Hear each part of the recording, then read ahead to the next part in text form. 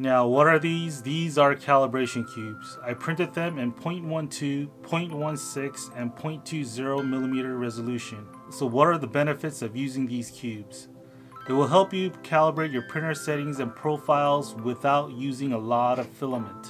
So they are like bite-sized plastic blocks that will help you visualize what your prints will look like. Now what will help in getting good measurements is to have a micro caliper like this. You don't need a super accurate micro caliper, something that will measure in the tenths of a millimeter will do. So guys, my name is James and I'm going to show you how to design your own calibration cubes in a free software called Blender. I will show you how to use these cubes and I will show you how to create your own printing profiles in a free slicing software called Cura. And if you don't want to design your own cubes and would rather just download these cubes, uh, please check out the link below. I will be posting them on my Thingiverse account. Guys, I always appreciate the likes, comments, and subscribes. So don't forget to subscribe if you want to see more content like this. Now let's take a look at these examples. So let's take a look at these cubes the 12, 16, and 20.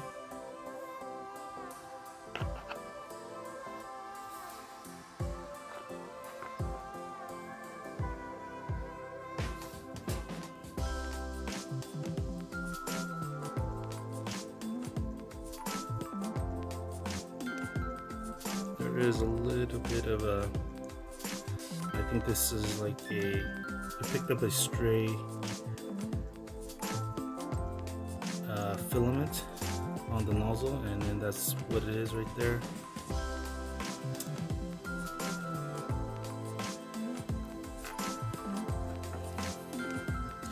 If you look at the bottoms on all three of these they're super clean. All of them are super clean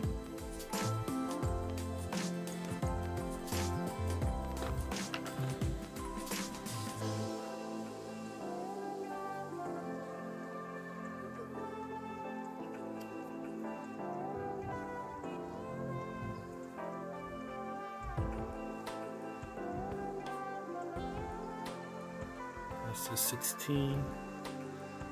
And then here's the 20. There's a little bit of a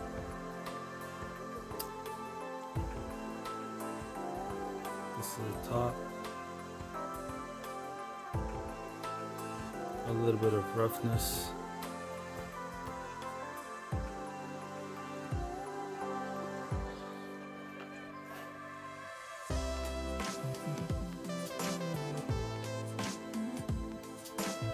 Again, um, this is because it, they, they picked up a stray uh, filament someplace on the nozzle.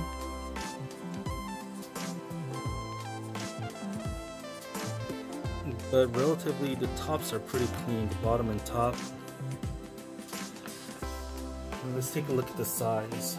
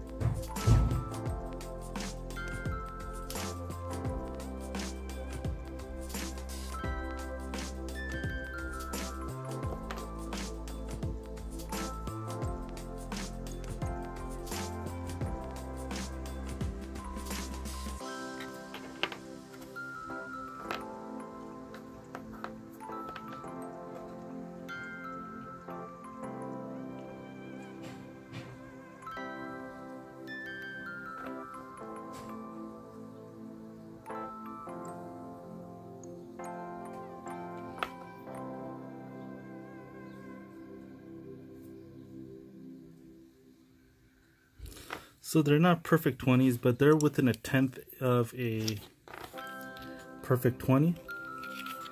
Um,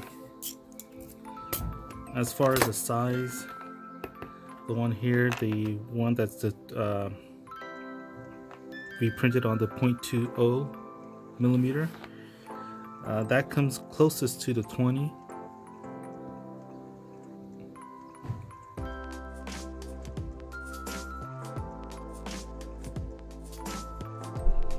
Now the only thing I did here was to change the infill and change the seam to the back right corner.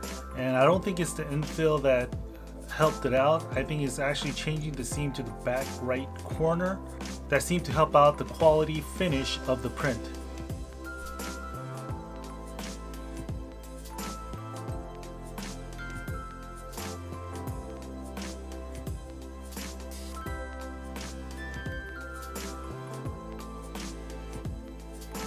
Now let's take a look at the example. The only difference between the one on the left and the one on the right is I increased the infill to 30% of this one. And also um, I put the seam on the back right corner. And that's the difference. This one had the um, the automatic settings of the smart hiding. This one is in the back right corner. And as you can see, it cleared a lot of the if you look at them side by side, it cleared a lot of these imperfections right here, right here. A little, uh, the striations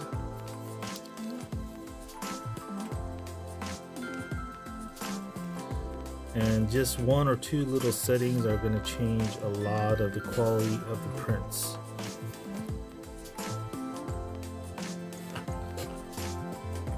You can tell by the F right here.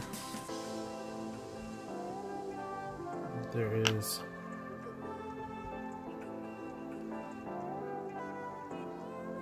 little imperfections.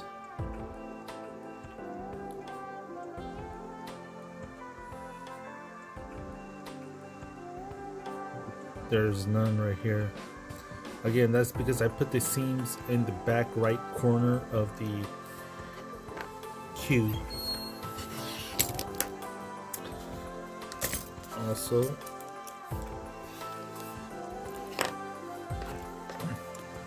I just want you to know that these are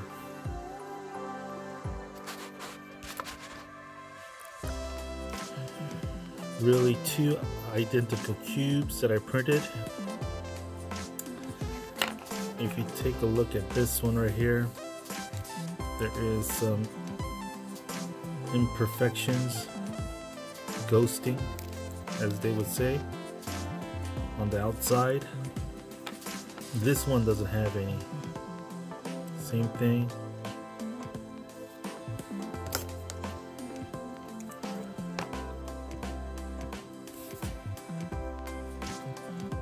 Side-by-side -side comparison. There are no issues on the outside.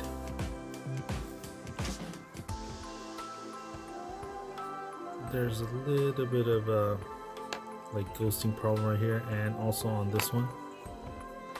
But the major issue is right here.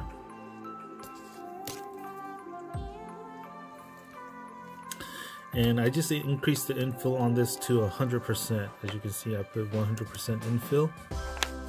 And that just cleared up a lot of the uh, the ghosting on this side. As far as the measurements 25.27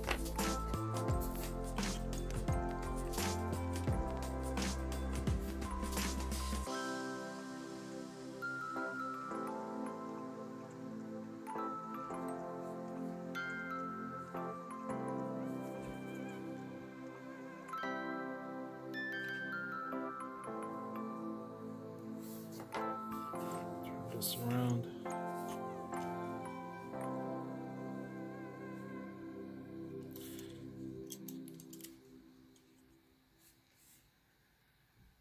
Two point 12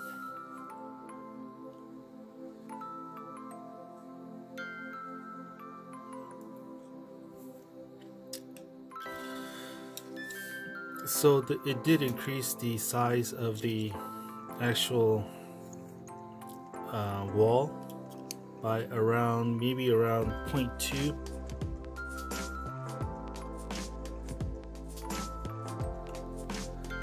and this was infilled at 100% this was infilled at only 20% but still as you can see on the outside it cleared up a lot of the ghosting on the outside. See this one has still has a lot of ghosting. This one on the outside does not have any ghosting on it. So just that one uh, one setting of increasing the infill to 100% change that.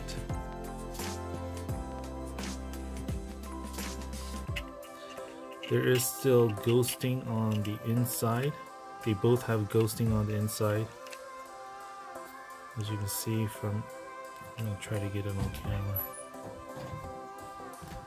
So in the beginning of the video I know I said that I was to show you how to create your own calibration cubes in a free software called Blender. Um, however I decided to put that in a separate video because the YouTube algorithm will not favor the video if viewers only watch a small portion of the video or half of the video. And I know that some of you guys probably don't want to watch the design portion of it. You guys just want to get the information. So yeah let me know in the comments below if you guys want to have a complete video that has all the designs and explanations in one package or if you guys would enjoy a separate or separate playlist of videos for the design portion of the 3D printings. And I hope you guys enjoyed this video and please subscribe if you want to watch more videos like this.